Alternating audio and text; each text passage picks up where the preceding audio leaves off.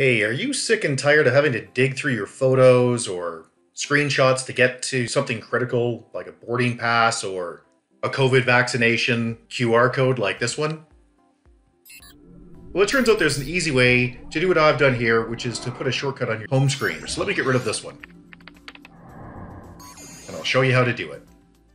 The first thing you have to do is go find the graphics that you're looking for you know, photos, documents, whatever else in the gallery. So let's just swipe down and search for gallery.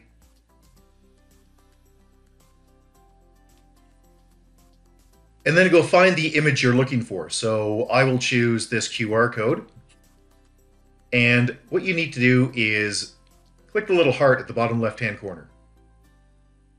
That'll add it to your favorites. Now what you can do is click on your favorites click the three dots at the top right hand corner and select add to home screen.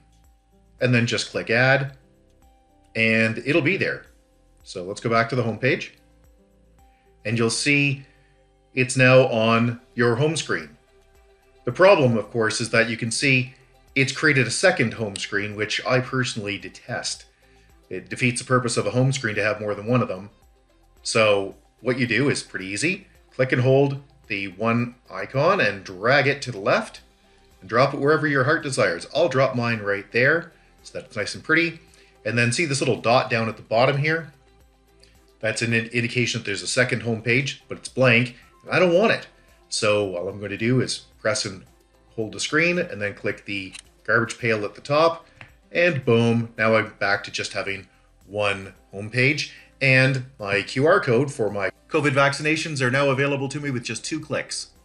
So just before we wrap up, let's go through the whole process end to end. Let's go to a web page. Of course, this is my web page. Let's go find a, well, let's just say you wanted, um, well, let's drill into this one. Let's say you wanted to take this screenshot with these three things on it. You want exactly like that. On a Samsung Android phone, you press the volume down and the power button at the same time, and it'll take a snap for you.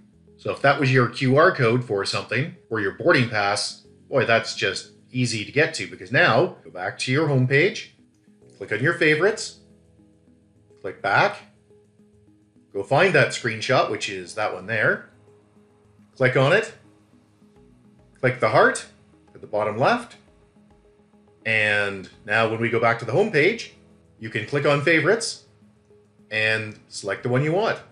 No, that's not it. It's the other one. So that's it. Told you it was easy. If you found this video useful, please click like. Subscribe is also always appreciated. And if you have a question, just put it in the comment section below. Or you can always get a hold of us at www.urtech, that's urtech.ca. Thanks. Bye-bye.